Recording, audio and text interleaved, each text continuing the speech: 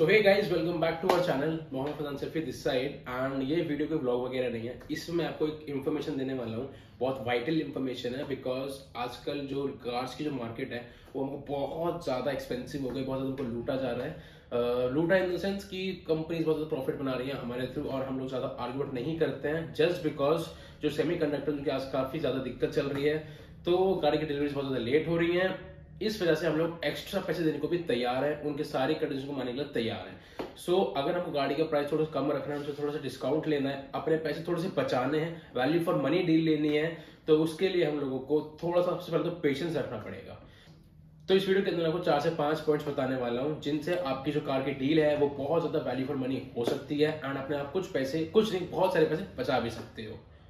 तो सबसे पहले तो मैं आपको एक चीज़ बता दूँ कि जब आप कार लेना चाहते हो तो सबसे पहले आपको डीलरशिप के सामने बिल्कुल भी डेस्परेट शो नहीं करना है कि मुझे गाड़ी की बहुत ज़्यादा नीड है, मैं आप एकदम खरीदना चाहता हूँ and all that things it just that कि आपको ये शो करना है कि आपको जल्दी डिलीवरी लेनी है तो आप वहाँ पर बस ये शो कर सकते हो कि आप पैसे उनको पेमेंट जल्दी दे दोगे, आप पेमेंट जल्दी कर सकते हो एंड आप कलर प्रेफरेंस अपनी छोड़ने को तैयार हो कि जैसे आपने बोला कि मेरे को गाड़ी जल्दी दे दो डिलीवरी जल्दी दे दो। जैसे इस टाइम पे एस यू सेवन बहुत ज़्यादा डिमांड में है तो वहाँ पे जाओ आप उनको बोले कि उनको एक्स फाइव फिर एक्स सेवन वाला वेरियंट चाहिए।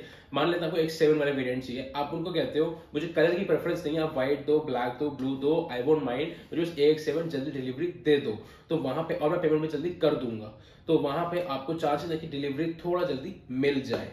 तो ये तो होगा पहला पॉइंट कि आपको डेस्परेट शो नहीं करना है। जो दूसरा पॉइंट आप लोग को दिमाग में रखना है, वो ये चीज़ है कि अगर आप कोई न्यू गाड़ी खरीदने चाहते हो, जैसे कोई नई नई लॉन्च हुई है, उसकी बहुत ज़्यादा डिमांड है डिलीवरी लेट चल रही है तो उस गाड़ी पे आपको डीलरशिप डिस्काउंट नहीं देगी, कोई ऑफ़र वगैरह उस पर नहीं होते हैं तो वहाँ पे आप उनसे कितने ही बार्गेन कर लो, आपको वहाँ पे ज़्यादा डिस्काउंट नहीं मिलने वाला है। वहाँ पे आपको थोड़ा बहुत वगैरह मिल सकता है, जो कैसे लेना है वो आगे वीडियो आपको समझ आएगा बट मेजर डिस्काउंट वहाँ पे नहीं मिलेगा। जैसे इस टाइम पे थार आजकल बहुत ज़्यादा डिमांड में है तो उस पर आपको ज़्यादा डिस्काउंट बिल्कुल नहीं मिलने वाला है। ठीक है? बाकी कुछ गाड़ियाँ हैं जो बहुत थोड़ा कम बिकती हैं या फिर जिनका फेस वगैरह आने वाला है। एंड जिनकी डिमांड थोड़ी कम है, जो आपको लगता है गाड़ी स्टॉक में खड़ी होंगी डीलरशिप के पास, उन गाड़ियों में आपको अच्छा खासा डिस्काउंट अवेल कर सकते हो आप। फॉर एग्ज़ाम्पल जैसे एसक्रॉस हो गई। एसक्रॉस मार्केट में ज़्यादा नहीं बिकती है। उसका आपको स्टॉक ज़रूर मिल सकता है। किसी ना किसी मारुति डीलरशिप आपको मिल जाएगा। उस पर आप भी डिस्काउंट अवेल कर सकते हो। बाकी कुछ गाड़ी जो बहुत डिमांड में रहती है, जैसे वरना हो गई क्रेटा हो गई, ये स्टॉक में मुश्किल ही होती है एंड इस पर डिस्काउंट लेना थोड़ा मुश्किल होता है बिकॉज़ ये बहुत ज़्यादा हाई डिमांडिंग कार्स है। जो तीसरा पॉइंट है वो ये है कि आजकल डीलरशिप्स क्या करती हैं, वो आपको कहते हैं कि, सर, हम आपको फिफ्टी थाउज़ेंड का सेवेंटी थाउज़ेंड का एटी थाउज़ेंड का कैश डिस्काउंट दे देंगे। बट बट इसका एग्जैक्ट ये मतलब होता है कि कैश डिस्काउंट ये मतलब देखिए, आपको प्राइस कम कर देंगे। वो ये होता है कि उस अमाउंट की आपको एसेसरीज लगा के दे देंगे गाड़ी के अंदर। अब कुछ एसेसरीज गाड़ी में लगानी नेसेसरी होती हैं एंड कुछ चीज़ें बहुत फालतू की होती हैं। तो ये आपके ऊपर है कि आपको क्या क्या चीज़ें चाहिए क्या क्या चीज़ें नहीं चाहिए। अगर आपको चाहिए तो आप उन चीज़ों को एक्सेप्ट कर सकते हो एंड जो बचा अमाउंट उसको आप इन कैश ले सकते हो। फॉर एग्ज़ाम्पल अगर कोई डीलरशिप आपको कहती है कि, सर, हम आपको सेवेंटी फाइव थाउज़ेंड का कैश डिस्काउंट दे देंगे बट उतने की हम आपको एक्सेसरीज लगा के देंगे।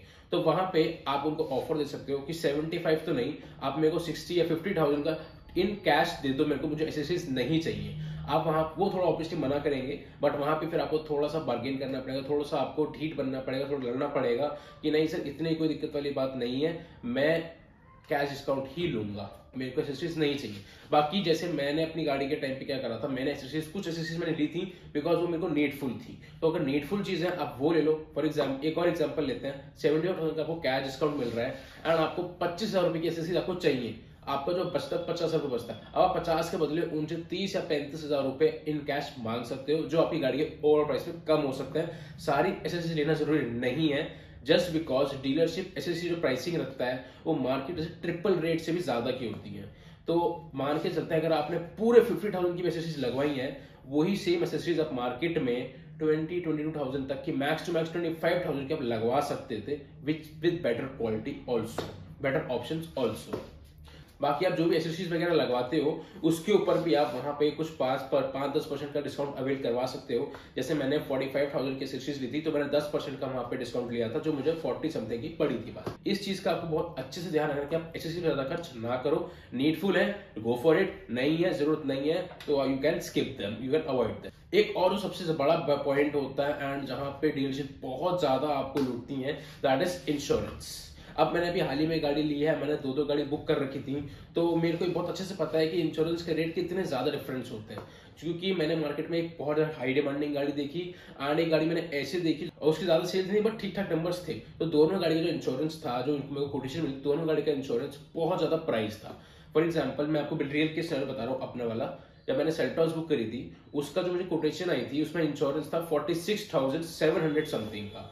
बट जब मैंने आप ऑनलाइन वगैरह आराम से चेक कर सकते हो इंटरनेट का जमाना है पॉलिसी वगैरह आप आराम से इधर उधर जाके चेक कर सकते हो, ठीक है? एंड बहुत सारी वेबसाइट से चेक कर सकते हो। वहाँ पे जो इंश्योरेंस आ रहा था, सारे एड ऑन्स डालने के बाद zero dep engine protection both की keyless and keyless and all जितनी प्रोटेक्शन होती हैं, आप सब कुछ लेने के बाद भी, मेरे को वो सेल्टॉस का जो इंश्योरेंस था, जो कंपनी जो forty six seven hundred something में दे रही थी, वो मेरे को थर्टी टू थाउज़ेंड मिल रहा था।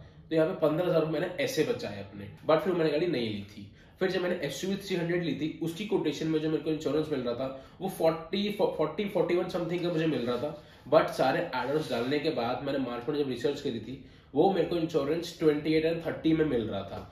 तो महिंद्रा की पॉलिसी है कि जो इंश्योरेंस है, क्योंकि यार देखो सीनियर्स के भी टारगेट होते हैं। उनका भी टाइप होता है इंश्योरेंस कंपनीज़ के साथ एंड ऑल लोगों के साथ। तो उनका जो टाइप होता है, वो ये होता है कि आपकी जो भी गाड़ी बिकेगी, वो हमारे थ्रू बिकेगी, हमारा इंश्योरेंस आएगा तो वहाँ पे मेरे को ये बोला गया था कि आप इंश्योरेंस बाहर से नहीं ले सकते हो। तो वेरी सिंपल अगर आप बाहर से नहीं ले सकते हो तो मैं भी अड़ा रहा था। मैं एक्स्ट्रा पे नहीं करूँगा बिकॉज़ कुछ ज़्यादा एड ऑन कम पैसों में मिल रहे हैं। तो मैं वहाँ पे लूँगा ना। वहाँ पे महिंद्रा आपको ऑप्शन देते कि आपको जो कोट होता है, जो इंश्योरेंस की अमाउंट होती है, वो अपनी कंपनी के अमाउंट से आपके मार्केट मार्केट के अमाउंट से मैच कर देती है। और अगर वो मैच नहीं हो पाता, जो मेरे केस में हुआ था, क्योंकि मैंने सारे एड ऑन लिए थे zero dep engine protection keyless consumables मैंने सारे लिए थे। तो मेरा जो अमाउंट बना था इंश्योरेंस का, वो थर्टी फाइव बना था बाय द कंपनी लास्ट आर मेरे को मार्केट में थर्टी का मिल रहा था। तो ओवरऑल प्राइस पे आप उस अमाउंट पे डिस्काउंट ले सकते हो। जैसे मैंने यहाँ पे इंश्योरेंस में फाइव थाउज़ेंड एक्स्ट्रा पे करे मेरा मार्केट प्राइस थर्टी था बट थर्टी फाइव मेरे को कंपनी ने दिया as a last price forty के बदले। तो मैंने जो पाँच हज़ार एक्स्ट्रा पे करे, वो मैंने वहाँ पे गाड़ी के ओवरऑल प्राइस पे लास्ट में डिस्काउंट लिया था। तो मैंने जो एक्स्ट्रा फाइव पे करे थे, वो मेरे लास्ट में नील हो गया था, क्योंकि मैंने फाइव का वहाँ पहले अलग से डिस्काउंट ज़रूर लिया था। तो एक और इंपॉर्टेंट पॉइंट है, वो ये है कि आप जब अपनी कार को एक्सचेंज करते हो, वो एक्सचेंज में आपको अपनी कार्स की प्रोज एंड कॉन उसकी किस कंडीशन में, आपको सब कुछ पता होता है, उसकी कितनी वैल्यू है, आपको पता होता है। तो इस हिसाब से आप देख लो कि आपकी गाड़ी कंपनी में आपको अच्छी वैल्यू मिल रही है या फिर आपको अच्छी वैल्यू बाहर मिल रही है। अगर बाहर मिल रही है तो उसे बाहर सेल आउट करो। अगर आपको कंपनी मिल रही है तो कंपनी में सेल आउट करो। जैसे मेरे को अच्छी वैल्यू कंपनी मिल रही थी तो मैंने गाड़ी अपनी कंपनी में सेल आउट करी थी। बाकी एक चीज़ और यहाँ पे ध्यान रखनी होती है कि कुछ गाड़ियों पे एक्सचेंज बोनस भी होता है। जैसे मेरी गाड़ी पे ट्वेंटी फाइव थाउज़ेंड का एक्सचेंज बोनस भी था। तो वहाँ पे कंपनी क्या कहती है? फॉर एग्ज़ाम्पल आपकी गाड़ी की तीन लाख की वैल्यू लगी है। तो वो क्या बोलेंगे? सर, आपको हम लोग तीन लाख की एक्सचेंज वैल्यू दे रहे हैं। अब आपको ये बात वहाँ पे एक बार कंफर्म करनी है। कि वो तीन लाख की जो वैल्यू है, वो ट्वेंटी फाइव थाउज़ेंड का एक्सचेंज मिलाकर है, यानी टू सेवेंटी फाइव की गाड़ी की वैल्यू है एंड ट्वेंटी फाइव थाउज़ेंड आपका एक्सचेंज बोनस है। या फिर थ्री लाख गाड़ी की वैल्यू है और इसके ऊपर ट्वेंटी फाइव थाउज़ेंड और मिलेगा। आपको ये चीज़ ज़रूर कंफर्म करनी है उन लोगों से। जैसे मैंने करी थी तो उन्होंने मेरा अलग अलग ही बताया था।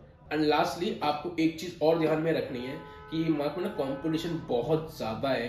तो आपको बिल्कुल भी डेस्परेशन शो नहीं करनी है डीलरशिप को कि यार मुझे यही गाड़ी चाहिए, यही मॉडल चाहिए, यही कलर चाहिए। यू नीड टू फ्लेक्सिबल बेशक आप अपने माइंड में ये बना के जाओ कि भाई मेरे को एक्स थ्री हंड्रेड ही चाहिए ब्लैक कलर में ही चाहिए बट वहाँ पे आप शो मत करो कि यार मैं इसी स्पेसिफिक मॉडल की आया वहाँ पे आप उनको और भी चीज़ें बताओ कि मैं मार्केट में और भी कॉम्पिटिटर्स की गाड़ियाँ कंसिडर कर रहा हूँ।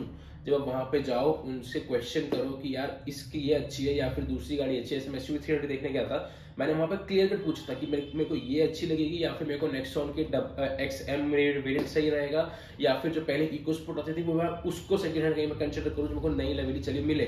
तो अगर आप उनको ऐसा कुछ बताओगे कि आप इतने डिस्परेट नहीं हो you are looking for other option also and you are looking for other dealership also of the same brand तो वो आपको अच्छी डील दे सकते हैं। So the last point is कि गाड़ी किस टाइम पे लेनी चाहिए। अब ऑब्वियसली बात है कि गाड़ी पूरे बारह महीने बिकती है, बारह महीने मैन्युफैक्चर होती है तो आपको किस टाइम पे गाड़ी लेना सूटेबल रहेगा? देखो यार, हर जगह टारगेट्स होते हैं सेल्स में टारगेट्स बिल्कुल होते हैं तो आप अगर मंथ एंड पे जाते हो तो वहाँ पे आपको एक अच्छी डील मिलेगी, ज़्यादा चांसेस होते हैं कि अगर आप मंथ एंड पे डिलीवरी लेते हो अपनी गाड़ी की, वहाँ पे आपको ज़्यादा चांसेस होते हैं बिकॉज़ उनको अपने टारगेट्स पूरे करने होते हैं। तो यू कैन ट्राई दैट बाकी कुछ फेस्टिवल अवॉइड कर सकते जैसे दिवाली हो गई, बीच में ईद वगैरह हो गई, आप इनको थोड़ा सा अवॉइड कर सकते बिकॉज़ यहाँ पे क्या होता है, लोग खुशी के मारे अपनी घर में नई चीज़ लेना चाहते हैं तो वहाँ पे आपको डिस्काउंट वगैरह थोड़ा कम मिलता है बिकॉज़ नीड ज़्यादा होती है सेल उस टाइम पे ज़्यादा होती है। सो ये कुछ तरीके हैं जहाँ से आप अपनी गाड़ी का कुछ पैसे कम कर सकते हो, कुछ प्राइस वगैरह कम कर सकते हो, अपने कुछ पैसे बचा सकते हो। सो so, ये वीडियो आपको कैसी लगी मेरे कमेंट सेक्शन में ज़रूर बताना। And do implement these things because ये मैंने खुद इंप्लीमेंट करी मुझे खुद बेनिफिट हुआ है सो आई वॉन्ट की बेनिफिट आप लोग भी लो। All the best bye